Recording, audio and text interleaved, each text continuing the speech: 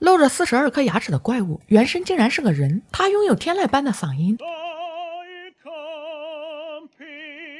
在这个怪物收容所里，住着各种奇形怪状的人。眼前这个头顶骨质疏松的女人是个了不起的诗人，还有面部被上帝捏歪的男孩。他内向害羞，却是第一个加入怪物大家庭的成员。在怪物家长的一一介绍下，他们纷纷和篮子里的钢柱打着招呼。当然，这里还有钢柱的同类，一个完全自我封闭的女孩。这是从双胞胎哥哥身上分离下来的弟弟钢柱。兄弟俩自出生起就是连体婴。在十几岁时，爸爸找来医生，帮他们做了分体手术。两人辗转来到怪物屋，弟弟。钢柱有暴力倾向，女人正在耐心劝导他不要动不动就撕烂别人的脸。哥哥铁柱在怪物收容所里，就连上厕所都需要小心翼翼。尽管和弟弟朝夕相处了几十年，现在突然看到这么多怪物，还是会被吓一跳。他想离开这里，去过正常人的生活。铁柱认为弟弟在这里已经找到了家。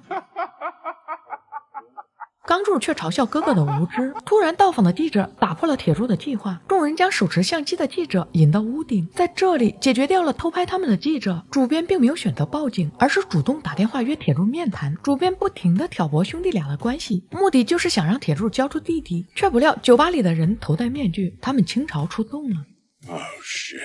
竟全都是怪物屋的成员。他来之前肯定没料到，能看到这群怪物的人根本不可能活着走出这里，也不会想到最终结束他生命的会是他口中那个暴力丑陋的怪物。从主编身上拿到女记者的地址，他们没有停留，因为接下来就轮到这个唯一的知情人女记者了。先是砸破玻璃，剪断女人家中的电话线，然后怪物们将女人围起来，逼迫她去找出钢柱。这下她彻底变成了和大家一样的怪物了。怪物们解决掉麻烦，生活终于恢复平静。还记得看开头那个自闭女孩吗？此刻已经和钢柱陷入爱河了。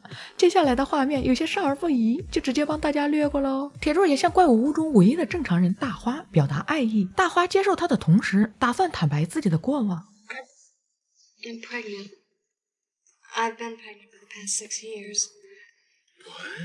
万万没想到啊！怀孕六年都生不出来的孩子，竟然是一个可爱的小怪物。孩子主动钻出来和铁柱打招呼，这下可彻底把铁柱逼疯了。刚脱离了弟弟的阴影，好不容易找个女朋友吧，还怀个哪吒，铁柱精神崩溃。大花想要安慰他，拉扯中，铁柱失手推了他一把。就这样，大花从窗户跌落到楼下，没了气息。接连的刺激让铁柱无法接受现实，他先是打晕钢柱，然后拿出针将钢柱重新和自己缝在一起。庞大的畸形家族本是给怪。给他们一个安稳的住所，却没能逃过发疯的哥哥合二为一的冲动。